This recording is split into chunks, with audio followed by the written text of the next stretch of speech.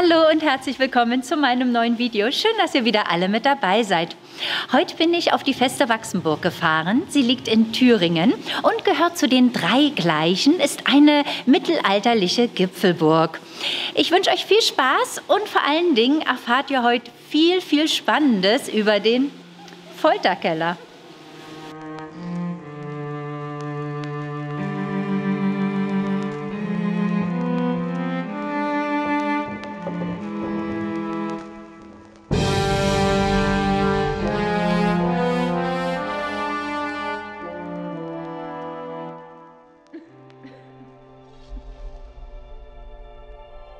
Westlich von Erfurt im Vorland des Thüringer Waldes ragen ziemlich dicht beieinander drei Bergkegel empor, die von Burgen gekrönt sind und im Volksmund die drei gleichen genannt werden, trotzdem sie weder das gleiche Aussehen, den gleichen Besitzer noch die gleiche Entfernung voneinander hatten.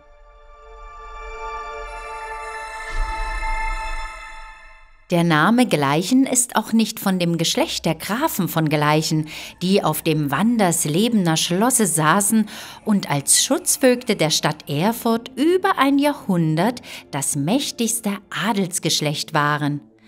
Ohne Zweifel hat die bekannte Sage von dem zwei beweibten Grafen sehr viel zur Verbreitung des Namens beigetragen. Dazu aber später mehr. Der Name ist viel älter. Als 1162 ein Graf von Tonna mit der Burg Gleichen belehnt wurde, nannte sich sein Geschlecht nach dem neuen Besitz von Gleichen. Wie dieser Begriff Dreigleichen entstanden ist, kann man nicht mehr sagen. Nur eine mystische Sage berichtet, dass am 31. Mai 1230 ein so grausames Wetterleuchten, Donnern und Blitzen da war, wovon die Türme auf den Häusern Wachsenburg, Mühlberg und gleichen entzündet wurden und sogleich auf einmal brannten. Für die vom Aberglauben beherrschten Menschen jener Jahrhunderte war es gewiss ein einmaliges Naturschauspiel, das umliegende Land von drei riesigen Fackeln erleuchtet zu sehen.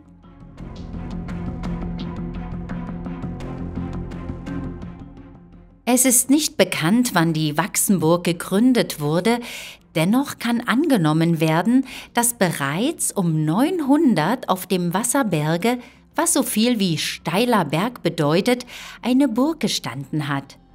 Sie bildete den Verwaltungsmittelpunkt für die in dieser Gegend gelegenen Ländereien des Klosters Hersfeld und garantierte nicht nur den Schutz des Klosterbesitzes vor den Übergriffen der Raubritter, sondern die eingesetzten Vögte sorgten auch dafür, dass die Abgaben pünktlich eingetrieben und an das Kloster weitergeleitet wurden. Unter den Grafen von Käfernburg, den Grafen von Orlamünde und seit 1306 im Besitz der Grafen von Schwarzburg erlebte die Wachsenburg ihre Blütezeit.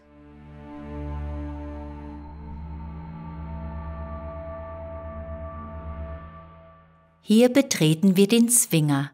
Eindrucksvoll erhebt sich der Palas. Dessen Außenmauerwerk verjüngt sich vom Kellergeschoss bis zum zweiten Obergeschoss um mehrere Meter. Im Hochmittelalter und der beginnenden Neuzeit dienten diese Kellerräume als Marstall. Hier waren die Pferde untergebracht, die als Lastentiere bei einem solch steilen Weg zur Burg hinauf unverzichtbar waren.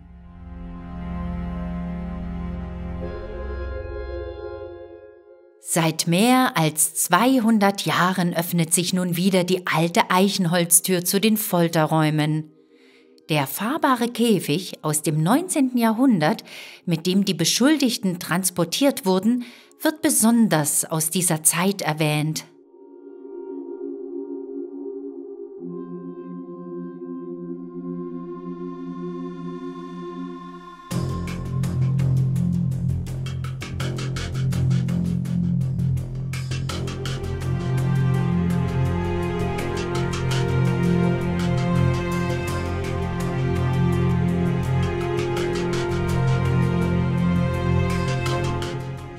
Der wuchtige und quadratische Treppenturm steht mit dem Mauerwerk des Palas aus der Mitte des 13. Jahrhunderts in Verbindung.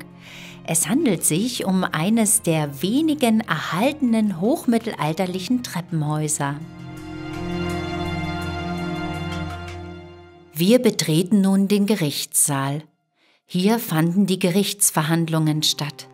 Nach Anklage, Urgericht und Richterspruch bedeutete die Hinrichtung die eindrucksvolle Urteilsvollstreckung. Sie war im Mittelalter öffentlich und ein Schauspiel für das Volk. Hinrichtungsprotokolle mit zerbrochenen Urteilsstab als Zeichen für die Gültigkeit des Todesurteils gab es noch im Jahr 1811. Mit dem Stabbrechen wurde ein Strafverfahren mit Todesurteil symbolisch zum Abschluss gebracht. Das große alte Eisenkreuz an der Wand weist darauf hin, dass alles in Gottes Namen passierte.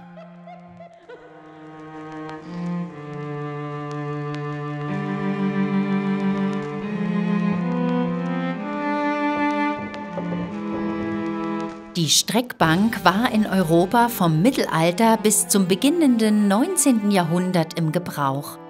In deutschsprachigen Gebieten war mit dem Begriff Folter meistens die Folterbank gemeint, ein Folterinstrument, das zur peinlichen Befragung gehörte und als ein Mittel zur Wahrheitsfindung der Rechtsprechung galt.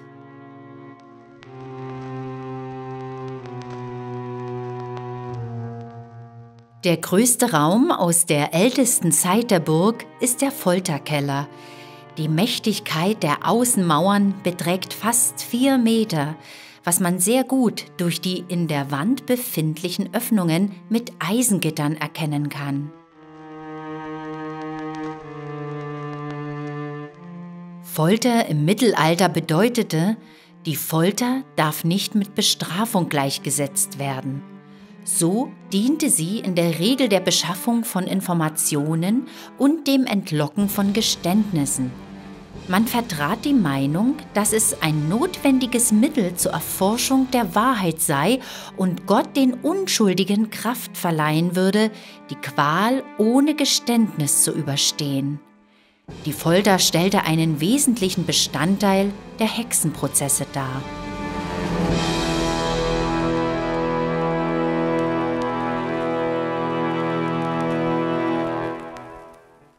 Legte der Verdächtige kein Geständnis ab, so wurde die eiserne Jungfrau immer enger geschlossen, so dass die Spieße den Eingesperrten an verschiedenen Körperteilen durchstachen.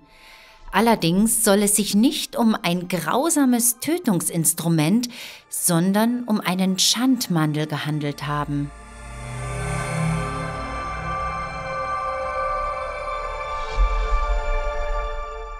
Zur Vernehmung wurde der Angeklagte auf diesen Stuhl, den sogenannten Befragungsstuhl, gesetzt, der komplett mit spitzen Dornen übersät ist.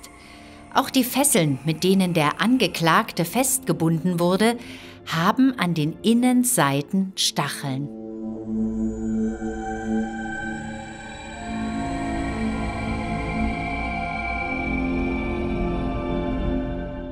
Hier sieht man einen Wasserschacht im Boden, der bis zu 100 cm tief und mit für das Auge klarem Wasser gefüllt ist.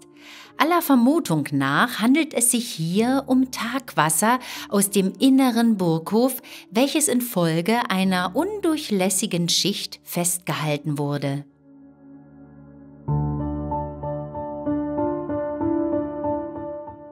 Im Volksmund und in früheren Beschreibungen wurde er als Hungerbrunnen bezeichnet. Er war bis zum Bau des neuen Brunnens 1645 die einzige Frischwasserversorgung auf der Burg.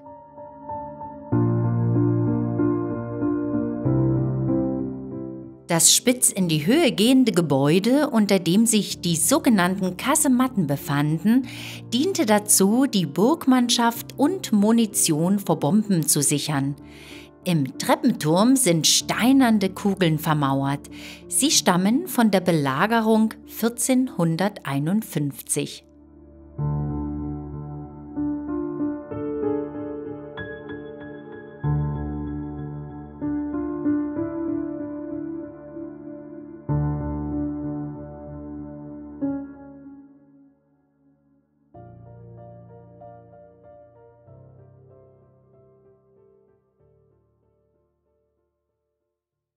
Im Jahr 1227 schloss sich Ernst von Gleichen einem Kreuzzug Kaiser Friedrich II. an, um das heilige Land von der Besetzung der Mohammedaner zu befreien.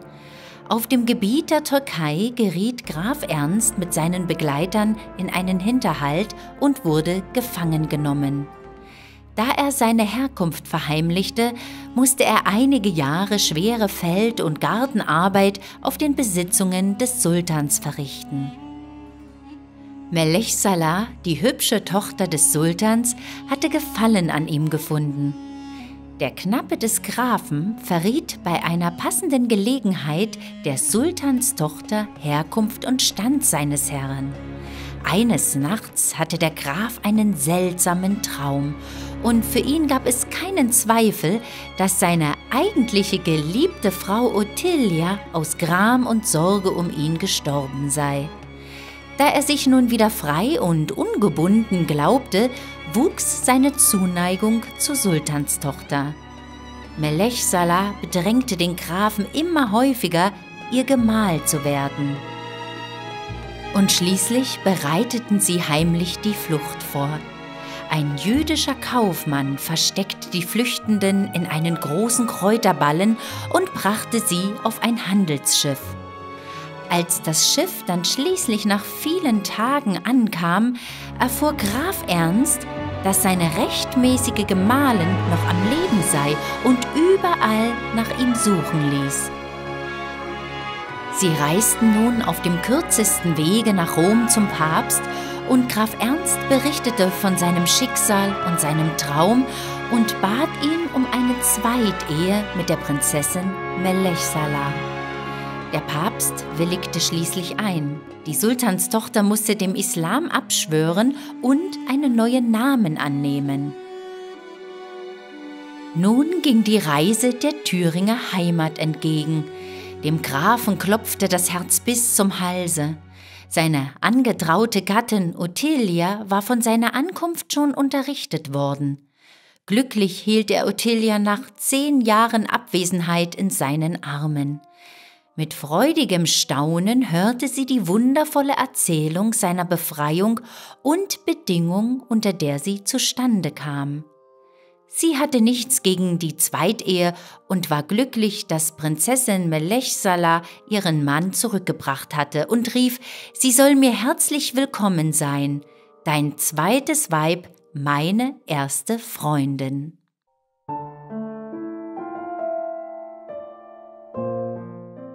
Im äußeren Burghof ist das Brunnenhaus mit dem 1651 angelegten 93 Meter tiefen Brunnen sehenswert.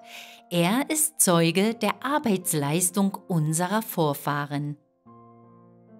Mit einer einfachen Fördereinrichtung, einem Drehdraht, wurde das lebensnotwendige Wasser aus der Tiefe geholt. Eine Dienstmagd und ein Bernardinerhund mussten diese harte und zeitraubende Arbeit verrichten.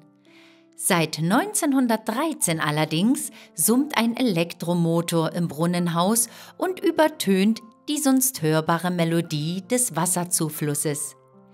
Wer die Gelegenheit findet, dem silberhellen Plätschern zu lauschen, dem ist es, als höre er daraus die Worte aus einer Brunnenanrede. Labt euch vergnügt an mir, ihr meine werten Gäste, und fürchtet euch oben nicht, denn ich steh unten feste.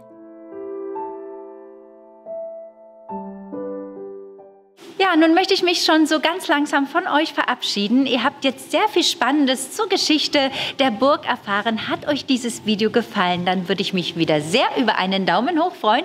Und wollt ihr nie wieder ein wunderschönes Schlösser- und Burgenvideo verpassen, dann abonniert am besten gleich den Kanal. Ich sage dann schon einmal Tschüss und auf Wiedersehen. Bis zum nächsten Mal. Tschüss.